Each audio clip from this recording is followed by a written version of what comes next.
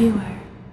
In a surprising turn of events, former Florida Governor Jeb Bush is officially endorsing Ted Cruz for President of the United States. In a statement, Bush described Cruz as a consistent, principled conservative who has demonstrated the ability to appeal to voters and win primary contests. And while the endorsement is pro Cruz, it may just as much be anti Trump. As Jeb goes on to say, for the sake of our party and country, we must move to overcome the divisiveness and vulgarity Donald Trump has brought into the political arena or we will certainly lose our chance to defeat the Democratic nominee and reverse President Obama's failed policies. The sentiment from the one time presidential hopeful echoes many others within the GOP who feel it is now crunch time when it comes to halting Donald Trump's path to the 1,236 necessary delegates for nomination. As for the third man left in the Republican race, John Kasich, a Bush source made clear Jeb respects the Ohio governor, but simply feels that Cruz has proven he can better win states and primaries.